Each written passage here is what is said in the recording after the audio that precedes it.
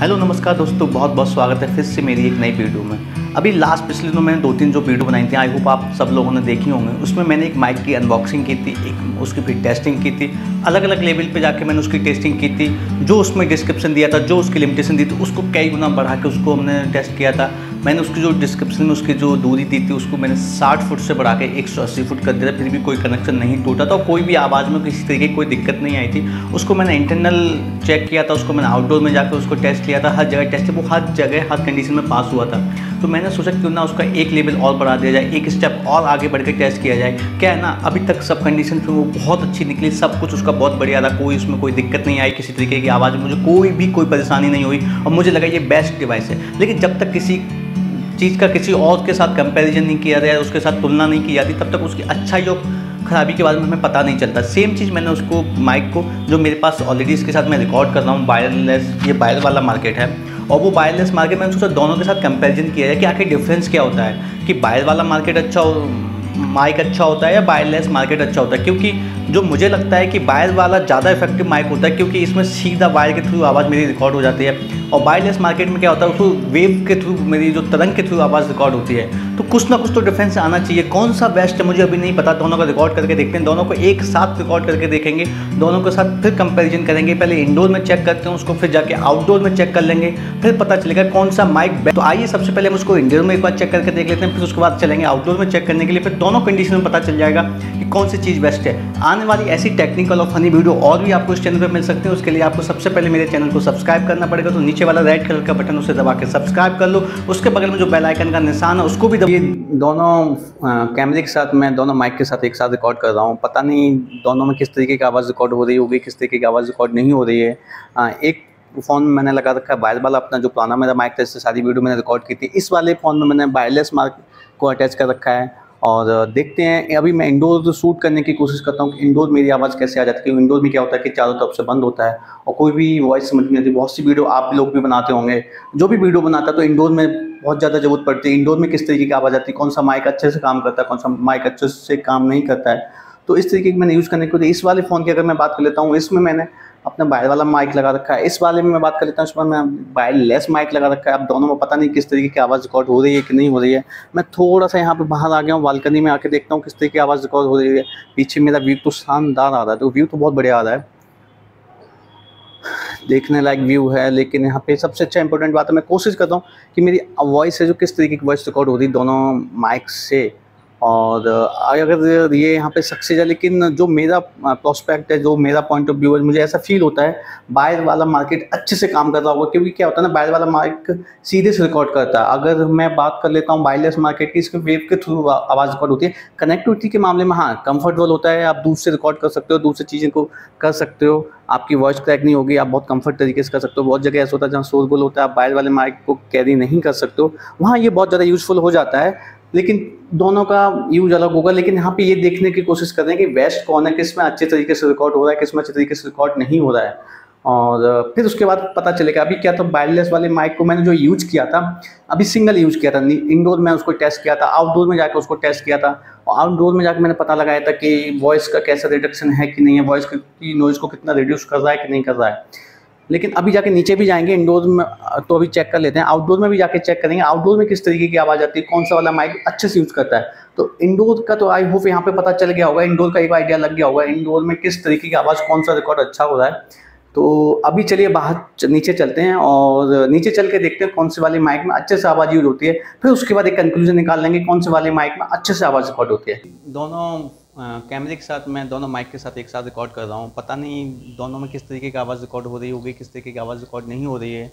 आ, एक फ़ोन में मैंने लगा रखा है वायर वाला अपना जो पुराना मेरा माइक था इससे सारी वीडियो मैंने रिकॉर्ड की थी। इस वाले फ़ोन में मैंने वायरलेस मार्क को अटैच कर रखा है और देखते हैं अभी मैं इंडोर शूट करने की कोशिश करता हूँ कि इंडोर मेरी आवाज़ कैसे आ जाती है। इंडोर में क्या होता है कि चारों तरफ़ से बंद होता है और कोई भी वॉइस समझ नहीं आती। बहुत सी वीडियो आप लोग भी बनाते होंगे।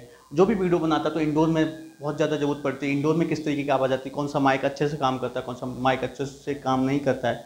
तो इस तरीके की मैंने यूज़ करने को इस वाले फ़ोन की अगर मैं बात कर लेता हूँ, इसमें मैंने अपना बायर वाला माइक लगा रखा है। इस वाले में मैं बात कर लेता हूँ इसमें मैं वायरलेस माइक लगा रखा है। अब दोनों में पता नहीं किस तरीके की आवाज़ रिकॉर्ड हो रही है कि नहीं। बायर वाला मार्केट अच्छे से काम कर रहा होगा, क्योंकि क्या होता है ना बायर वाला माइक सीधे से रिकॉर्ड करता है। अगर मैं बात कर लेता हूँ वायरलेस मार्केट की, इसके वेव के थ्रू आवाज़ रिकॉर्ड होती है। कनेक्टिविटी के मामले में हाँ कंफर्टेबल होता है, आप दूर से रिकॉर्ड कर सकते हो, दूसरी चीज़ें को कर सकते हो। आपकी वॉइस क्रैक नहीं होगी, आप बहुत कंफर्ट तरीके से कर सकते हो। बहुत जगह ऐसा होता है जहाँ शोरगुल होता है, आप वायर वाले माइक को कैरी नहीं कर सकते हो। वहाँ ये बहुत ज़्यादा यूज़फुल हो जाता है।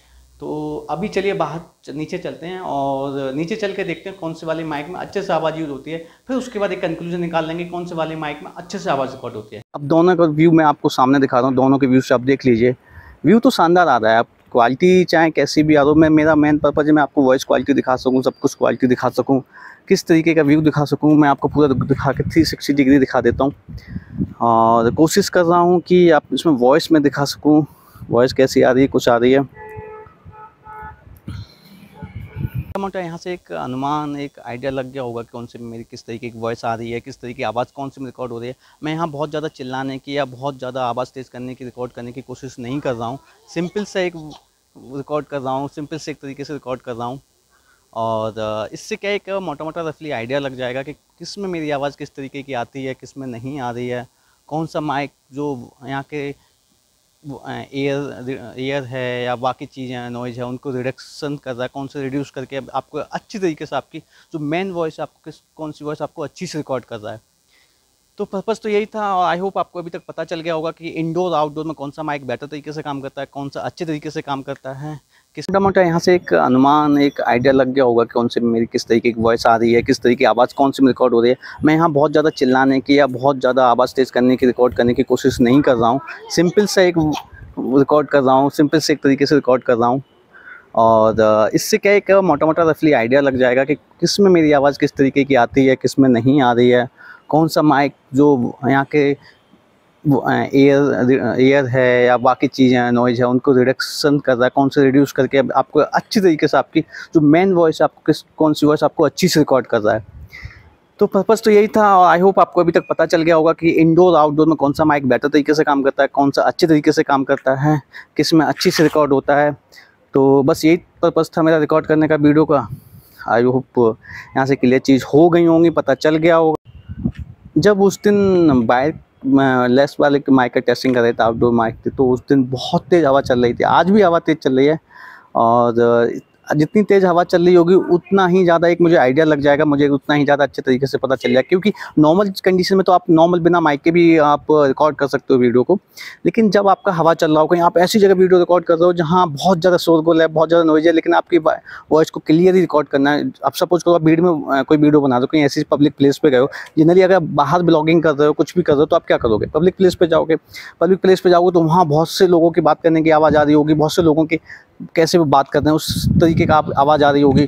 तो आपकी आवाज़ का रिकॉर्ड जो आप बोलना चाहते हो, जो आप समझाना चाहते हो, वो रिकॉर्ड होना बहुत ज़रूरी है। बाइक लेस वाले माइक का टेस्टिंग कर रहे थे आउटडोर माइक के तो उस दिन बहुत तेज़ हवा चल रही थी। आज भी हवा तेज़ चल रही है और, जितनी तेज़ हवा चल रही होगी, उतना ही ज़्यादा एक मुझे आइडिया लग जाएगा, मुझे उतना ही ज़्यादा अच्छे तरीके से पता चल जाएगा, क्योंकि नॉर्मल कंडीशन में तो आप नॉर्मल बिना माइक के भी आप रिकॉर्ड कर सकते हो वीडियो को। लेकिन जब आपका हवा चल रहा हो, कहीं आप ऐसी जगह वीडियो रिकॉर्ड कर रहे हो जहाँ बहुत ज़्यादा शोरगुल है, बहुत ज़्यादा नॉइज़ है, लेकिन आपकी वॉइस को क्लियर रिकॉर्ड करना है। आप सपोज़ करो आप भीड़ में कोई वीडियो बना दो कहीं ऐसी पब्लिक प्लेस पे गए हो जनरली अगर बाहर ब्लॉगिंग कर रहे हो, कुछ भी कर रहे हो तो आप क्या करोगे? पब्लिक प्लेस पर जाओगे।